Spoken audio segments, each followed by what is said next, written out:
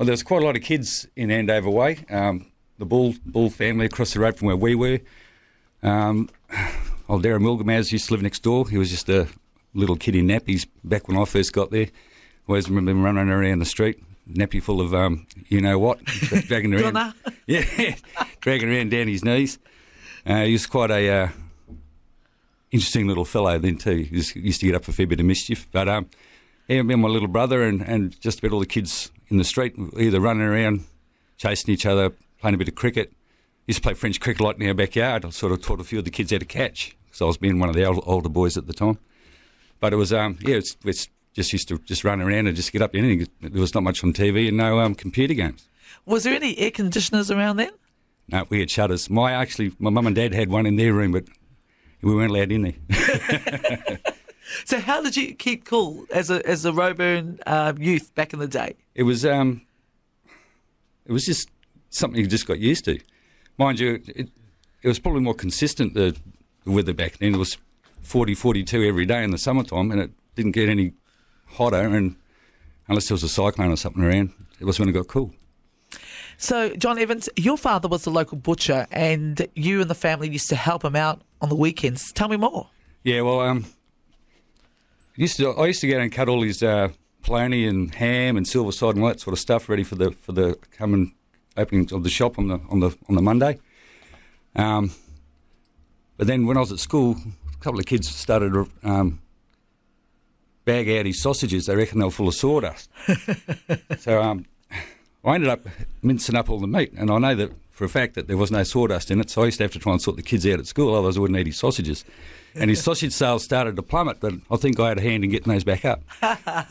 Good on you. And uh, did your uh, family sell uh, kangaroo tails and some of the the mullah meat that the locals like? No, actually, but he did start selling some mulloway. We used to catch some mulloway underneath the um, ore wharf back in the day. It's frowned upon now these days, but um, when the uh, health inspector heard that there was some fish getting sold out of the shop, sort of shut that down, so he couldn't sell any more mulloway. So your uh, father's butcher shop was located right across the road from the Victoria Hotel. I'm sure you would have seen a lot of interesting things back in the day. yeah, she was a pretty wild place back then. Um, used to get off the bus quite often. Um, we'd, we'd get off the bus and grab some fishing gear out of Dad's Cortina and go down the river and, and try and catch some little fish and stuff. And um, uh, depending on whether there was some action going on at the Vic, sometimes we'd stop and watch for a bit because it used to get quite feisty. If it was fairly quiet, we'd just head straight down to the river and um, go fishing. And was that before the Harding Dam? Yeah, it was a Oh, lot. yeah, tell me what it was like. It was good. I mean, it still would flow. It, would, it wouldn't, but there was always water in it. I remember when I first come up here as a um, little tacker, about eight, nine, in the early seventies. I used to wander around down the river all the time because there's no telly back then, so you had nothing to do.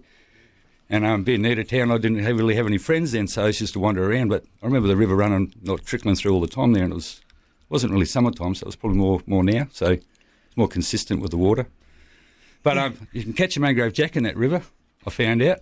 Um, just I've, I uh, caught one of these little fish one day and put a hook through his back and threw him out as live bait, and uh, got snapped off. So the next day I went down with my fishing rod and a few muleys and started bait casting in the pool just behind here actually. And um, yeah, went home with three or four mangrove jack. My old man couldn't believe it. Wow. And you would have been exci- excited as well. Oh, I sure was. You're listening to Ngaarda Radio if you've just tuned in. My guest is John Evans. We're reminiscing about the good old days of uh, himself growing up in Roebourne and Wickham. Uh, this weekend, the Wickham community is celebrating 50 years. So, uh, you started your apprenticeship at Rio Tinto when you were 15 years old. Tell me about your first day. First day was a bit bit funny. You sort of get to work, and they, I think there was 16 apprentices started that day, and of course, got your inductions and stuff. Very similar to, to, to how things are now.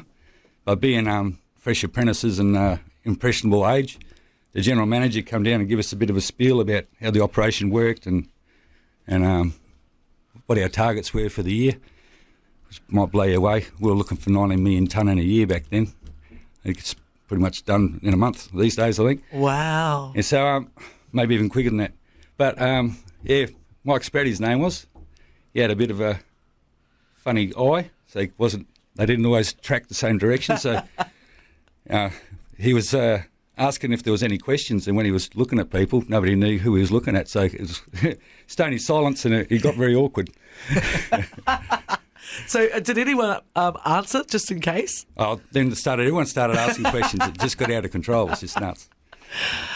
Uh, now, uh, you've you, uh, did have a, a ten year break from uh, the Pilbara, but how has Wickham developed and grown over the years? What what changes have you seen? Well, the changes have probably been. I mean, I've been back twenty years now, and there was always talk of um, the hub and all that sort of stuff um, early on in the piece. But um, when I came back, the Wickham Club was still there. It was still open before they knocked it down. Um, met up with an old mate of mine, Phil Stevens, old older, and um, we went down for a drink. And when we walked into the club, when we'd been away for 10 years, the decor was exactly the same. Nothing had changed. The same red carpet. It was as dingy as it was. Uh, yeah, it was. It was quite. It was like walking back in time. It was unreal. Wow. and now uh, look at it. I mean, with the uh, uh, the Rambler there, it's yeah, it's a great little community hub. And even when we were down there last night, all the families just walked down, you know, ha- grab a meal, have a feed. It's a great little community. Now, how has the mindset in the mining sector changed? For example, I heard a story that Wickham workers went on strike because of ice cream and cream biscuits. Yep. There was a few rules. There was a few agreements for the awards and stuff that the unions had ne- negotiated back in the day. If there wasn't the, right amount of flavours in the freezer or uh, cream biscuits in the in the bicky tin, sometimes uh, they take exception to that. But sometimes they were, I think, looking for a reason to take some action, just to bolster some other um, ideas they were trying to, or other things they were trying to fight for. But And- um, well, please say those other things were more than ice cream and cream biscuits. real things, yeah. So, and of course, now these days, in, uh, you know, uh, there's been a spotlight on safety. Like, was like how you deal with safety now? Was it the same when you were 15? No, I, I think the safety things just mean a, a, a big education as as we've all sort of evolved. To be honest, um, nobody nobody deliberately does things to hurt themselves or hurt anybody else.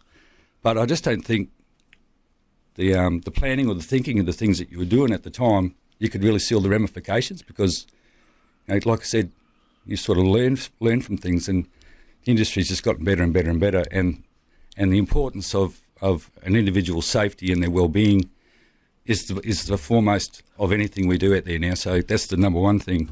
So um, that's the that's the change. You know, where you climb up on stuff and you can't do that anymore. You've got to have the right gear so that you, you can't fall. You know, that sort of thing. So Yes. yeah, it's a lot more um, whole process type um, look at that sort of stuff. Yeah. And what do you love about the community of Wickham? Was, like I said last night, wandering down. There's a bunch of people there I hadn't met before last night. We were all having a good old joke and a yarn last night. So, um, and, like yourself, even you, Yes. you dragged me into this. What can I say? I know, and I've I've been living in Roebourne for this is my coming on to my seventeenth year now. Um, absolutely love Ieramugadu, and I, I you know, I, and I love that. I feel like we're still sort of in the country, and if we want to go to the big smoke, which is like the city of Karratha now, it's down the road. I'd rather be here, close to Cossack, Wickham, Samson.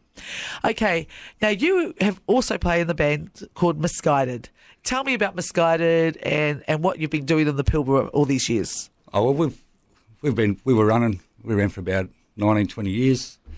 Um, Drew Reed, Ray Bath, myself, Bob Dershaw in Karratha, um, and we play mostly at the uh, Karratha venues. Um, the Apex Garden Party was a was a regular gig that we did for the, for charity, which was, was really good. No, the other ones probably stick in my mind the most. Um, and got to a point probably about a year ago where Bob needed a change, so he left the band, and um, Drew, Drew's left. He's since moved on, so me and the drummer are still trying to get it get it happening. So we're in a transitional phase at the moment. So are you looking for a singer? Singer, I- guitarist. oh, I, I know one, a singer guitarist. I'll, se- I'll, I'll send you a, phone number later on. no worries. Okay, now Joe Keria will be performing this Saturday to celebrate 50 years of Wickham. Now, is this 50 years of, of uh, since Rio Tinto started? What was because I think Wickham's been going a bit longer than 50 years. Oh, no, I think it all happened around the same time. It was sort of built when the construction was on. I mean, my, my the reason my dad got up here was um, when BHP were building Hedland. He was on that construction camp. He was here for this construction camp. That was 60s, 70s. And then, uh, and even Dampier. So he was on all the all the camps that when they were building it, different jobs and at different times. But um, so he was a butcher when he was here, and a fellow named Pete Nicholson, because the butcher shop was called Nicholson's Butchery, stayed after it finished and started the shop, and then he dragged my old man into it. So that was um, that's how we ended up getting getting, getting up here. Excellent. Okay, well, Joe Kerrier is performing. You've requested a Kerrier song. Why? Hats off to Josh Philpott and the boys, the local fellas, and I just think it was only fitting that um they can take me out. There you go. Love it. He's back no more. One of my faves.